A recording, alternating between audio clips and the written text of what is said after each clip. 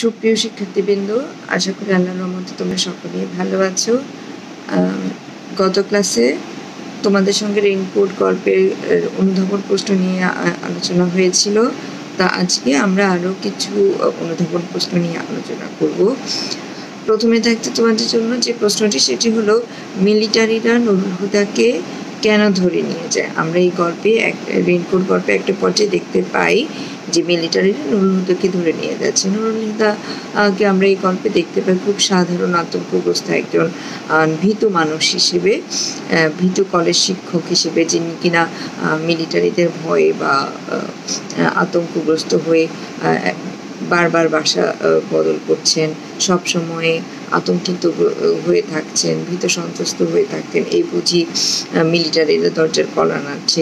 এমন একটা আশঙ্কা থেকে তো সেখানে মিলিটারিরা কেন নুরুল নিয়ে যাবে? এমন একজন সাধারণ মানুষকে যে মুক্তিযোদ্ধা নয় কিংবা মুক্তিযোদ্ধার সহযোগী কেউ নয়। তো আমরা এখানে দেখতে পাই যে তারপর নুরুল ধরে নিয়ে যায়।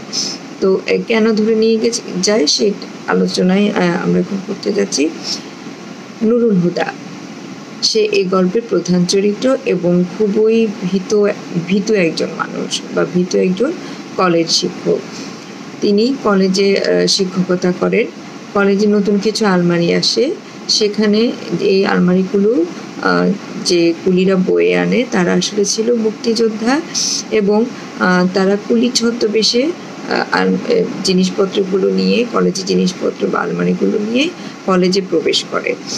এই আলমারিগুলো কলেজে পৌঁছে দেওয়ার অজুহাতে তারা আসলে কলেজে মিলিটারিদের অবস্থান, তাদের ক্যাম্পটা কোথায় করেছে, তাদের গতিবিধি কী সেটা লক্ষ্য রাখার জন্য এবং অর্থাৎ রেকি করার জন্য তারা কলেজে প্রবেশ করে এবং পরবর্তীতে তারা কলেজে হামলা চালায়। অর্থাৎ কলেজে হামলা চালানো বলতে এখানে মিলিটারিরা যে কলেজে ক্যাম্প করেছে, সেই ক্যাম্পে হামলা চালায়।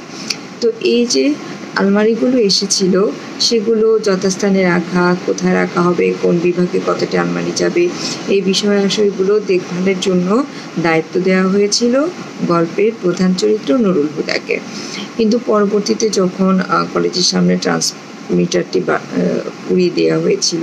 মিলিটারি ক্যাম্পের সামনে বোমা ফেলা হয়েছিল। এই ঘটনার প্রেক্ষিতে মিলিটারির বুঝে গিয়েছিল যে কারা এই হামলাটি করেছে। তো সেখান থেকে হচ্ছে যে সন্দেহ করা হয় প্রথমে নুরুল হুদার উপরে। কেননা তিনি এই পুলিদেরকে পরিচালনা করেছিলেন, তাদের সঙ্গে কথাবার্তা বলেছিলেন। কিন্তু তিনি তো বলেছিলেন কাজের কথা, তাদের সঙ্গে তার কোনো যোগ সাজস ছিল না। কিন্তু মিলিটারিরা সেটা মানতে নারাজ এবং তারা প্রথমেই সন্দেহ করে নুরুল হুদাকে যে কিনা এই পুরো বিষয়টি তত্ত্বাবধান করেছে।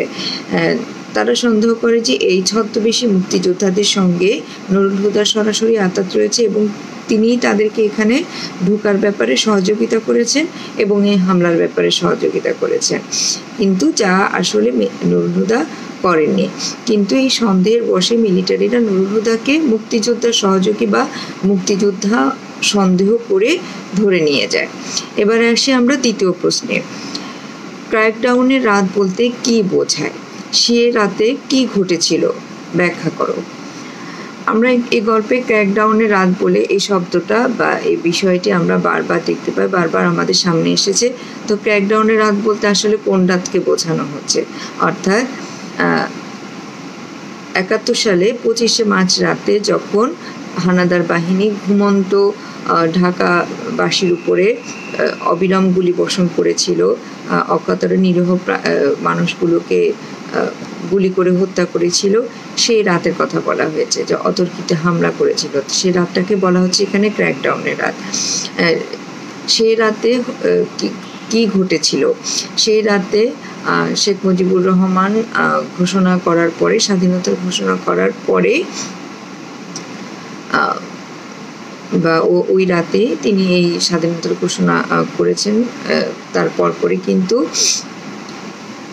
পঁচিশে মার্চ রাতে বা কাল রাত যেটাকে বলা হচ্ছে ক্র্যাকডাউনের রাত বলা হচ্ছে পাক হানাদার বাহিনী ঘুমন্ত ঢাকাবাসীর উপরে অবিরাম গুলিবর্ষণ শুরু করে। সাধারণ মানুষের বাড়ি ঘরে ঢুকে পড়ে ব্রাশ ফায়ার করতে থাকে। পথে ঘাটে যাকেই পেয়েছে তাকে তারা গুলিবর্ষণ করে হত্যা শুরু করে। এই ভয়াল রাত্রিটিকে বলা হয়েছে ক্র্যাকডাউনের রাত বা কাল রাত্রি। এরপরে আসো, ভীতু নুরুল হুদার মধ্যে উষ্ণতা, সাহস ও দেশপ্রেম সঞ্চারিত হয় কীভাবে? ব্যাখ্যা করো। আমরা প্রথমে বলেছি তোমাদেরকে যে এখানে রেইনকোট একটি প্রতীকী গল্প। রেইনকোটের মধ্য দিয়ে নুরুল হুদার বা ভীতু নুরুল হুদা বা একজন ভীতু কলেজ শিক্ষকের সাহসী হয়ে ওঠার গল্প তার দৃঢ় প্রতীক হয়ে ওঠার গল্প। যে মানুষটি কিনা পাখানাদার বাহিনীর ভয়ে প্রায় প্রতি মাসে বাড়ি বদল করেছেন। প্রতি ক্ষণে আতঙ্কগ্রস্ত হয়েছেন যে এই বুঝি তার দরজায় করোনার চাহানাদের বাহিনী। এমন একজন মানুষ, এমন একজন সাধারণ ভীত মানুষ তার সাহসী হয়ে ওঠার গল্পটা এখানে প্রতিফলিত হয়েছে রেনকোট পরিধান করার মাধ্যমে। নুরুল হুদা ভীত হয়ে থাকার পেছনে সবচেয়ে বড় কারণটি ছিল তার শ্যালক। তার শ্যালক মন্টু, যে কিনা যুদ্ধে যোগদান করেছে, মুক্তিযুদ্ধে। এই মুক্তিযুদ্ধে যোগদান করার কারণেই নুরুল হুদা মনে করত, যেহেতু মন্টু তাদের সঙ্গে থাকতো, হানাদার বাহিনী যে কোনো সময় এই খবরটি পেয়ে যাবে এবং তাদেরকে খুঁজে বের করে মেরে ফেলবে। তিনি তার পরিবার এবং নিজেকে নিয়ে তার সব সময় আতঙ্কিত থাকতেন। যে এই বুঝি তিনি ধরা পড়ে গেলেন। প্রতিবেশী বুঝি তার আর শ্যালকের মুক্তিযুদ্ধ হয়ে ওঠার বিষয়টি জেনে যাবে হানাদার বাহিনীকে জানিয়ে দিবে, পাকিস্তানিদেরকে জানিয়ে দিবে, আর পাকিস্তানিরা এসে তাদেরকে মেরে ফেলবে। কিন্তু এই ভীত নুরুল হুদাই শেষ পর্যন্ত হানাদার বাহিনীর কাছে ধরা পড়ে বা মিলিটারিরা তাকে ধরে নিয়ে যাওয়ার পরে তার কাছে যখন বারংবার জানতে যাওয়া হয়েছিল যে মুক্তিযোদ্ধারা কোথায়, তাদের আস্তানাটা কোথায়, তাদের পরবর্তী পরিকল্পনা কী, বিষয়গুলো জানতে চাওয়া হয়, তিনি কিন্তু কোনোভাবে মুখ খুলেননি। যদিও আসলে তিনি জানতেন না মুক্তিযোদ্ধারা কোথায় আত্মগোপন করে আছে, তাদের ঘাটটি কোথায়, তাদের গতিবিধি কী, এসব কিছুই তিনি জানতেন না, কিন্তু তিনি মুক্তিযোদ্ধাদের সহযোগিতা করার জন্য তার উপর অকথ্য বা বর্বর নির্যাতন চালানোর পরেও তিনি মুখ খোলেননি এই যে ভীত নুরুল হুদা, এমন সাহসী একটি উদাহরণ স্থাপন করলেন, নজির স্থাপন করলেন বা দেশপ্রেমে উদ্বুদ্ধ হয়ে উঠলেন কীভাবে? যেদিন নুরুল হুদাকে মিলিটারিরা ধরে নিয়ে যায় সেদিন তাকে কলেজ থেকে খবর দেওয়া হলো যে, প্রিন্সিপাল স্যার তাকে ডাকছেন। সেখানে কলেজে যাওয়ার জন্য তিনি বের হবেন তখন প্রচুর বৃষ্টি হচ্ছিল। সেই বৃষ্টি থেকে রক্ষা পাওয়ার জন্য তার স্ত্রী তাকে তার ভাইয়ের, অর্থাৎ মন্টুর, রেনকোটটি পরে, বের হওয়ার জন্য অনুরোধ করে। আর নুরুল হুদাও তার শ্যালক মন্টুর রেনকোটটি পরিধান করে। এই রেনকোটটি মন্টুর নয়, আসলে এখানে বলা হচ্ছে যে একজন মুক্তিযোদ্ধার রেনকোট। এটি পড়বার পর থেকেই নুরুল হুদার সঙ্গে একটির পর একটি আশ্চর্যজনক বা একটু অদ্ভুত ঘটনা ঘটতে থাকে। তার সন্তান তাকে দেখে বা ছোট মেয়েটি তাকে দেখে বলে যে, বাবা, ছোট মামা সেজেছে। তখনই তার মনে একটু ভয় জাগে যে, তাকে কি আসলে মন্টুর মতো লাগছে? বা তাকে একজন মুক্তিযোদ্ধার রেনকোট সে পরিধান করেছে, বাইরে বেরোলো কি লোকজন তাকে মুক্তিযোদ্ধা মনে করবে? সেটা মনে করে কি কোনো মিলিটারি তাকে ধরে নিয়ে যাবে? এমন নানান প্রশ্ন তার মুখে, মনের মধ্যে উকি দিতে থাকে। এরপর এই যখন সে বের হয়, বাসে উঠে, বাসে প্রত্যেকটি যাত্রী তার দিকে অদ্ভুত চোখে তাকাতে থাকে। দুটি পকেট মার তাকে দেখে বাস থেকে নেমে যায়। তার দিকে অদ্ভুত চোখে চাকাতে তাকাতে থাকে। কিন্তু এই সমস্ত ব্যাপারগুলো দেখে তখন কিন্তু নরুদা মোটেও ভয় পায়নি। তার মধ্যে একটা অদ্ভুত অনুভূতি জাগে, অদ্ভুত একটা শিহরণ জাগে। তার, সে যখন বুঝতে পারছিল, তাকে দেখে লোকজন, মুক্তিযোদ্ধা বা এমন কিছু ভাবছে সেটি ভেবে কিন্তু লুলুদা ভয় পায়নি। সে করেছে কি? সেটি, এটাতে খুব আনন্দ পাচ্ছিল এবং তার অদ্ভুত ধরনের একটি অনুভূতি হচ্ছিল যে, যদিও তাকে কেউ মুক্তিযোদ্ধা হিসেবে মনে করে থাকে বা সন্দেহ করে থাকে সেটাতে বরং সে মনে হচ্ছিল আরও বেশি গর্বিত, নিজেকে গর্বিত মনে করছিল, গর্ব অনুভব করছিল। সে মোটেও তখন ভয় পাচ্ছিল না, বরঞ্চ মনে হচ্ছিল যে বাসে ফাঁকা হয়ে যাক যে এখানে যারা ঠক প্রবঞ্চক বা মুক্তিযুদ্ধের বিরুদ্ধে যে কেউ থাকলে তারা নেমে যাক, এমন একটা বিষয় যেন সে মনে করছিল এবং এমন একটা ব্যাপার সে চাচ্ছিল মনে মনে।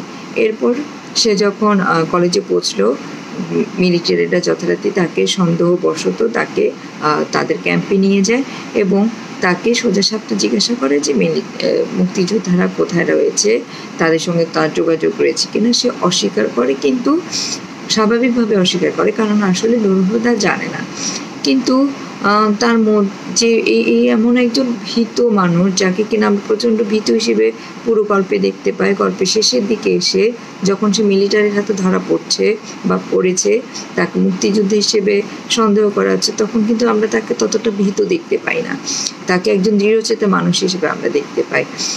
সম্পূর্ণটাই ঘটেছে আসলে এই রেইনকোটের বদলাতে।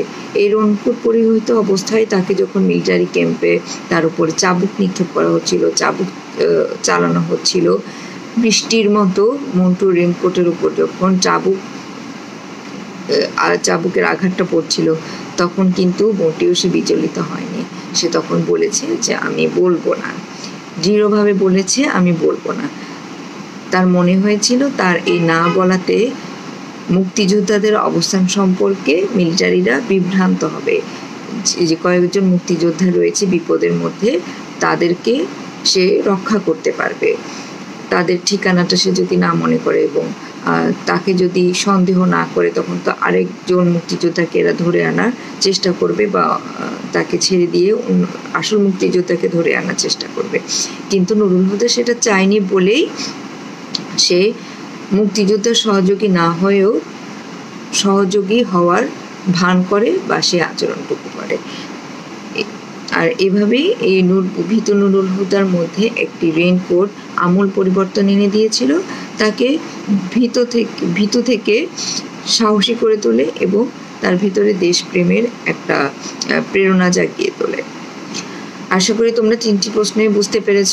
আমরা পরবর্তী ক্লাসে আরও কিছু প্রশ্ন নিয়ে আলোচনা করব এবং তোমাদের রেইনকোট গল্পটি আমরা সেদিন আলোচনাটা শেষ করে দেব। এর মধ্যে যদি তোমাদের কোনো প্রশ্ন নিয়ে কোনো আলোচনা করার থাকে সেটা তোমরা কমেন্টে জানিয়ে দেবে।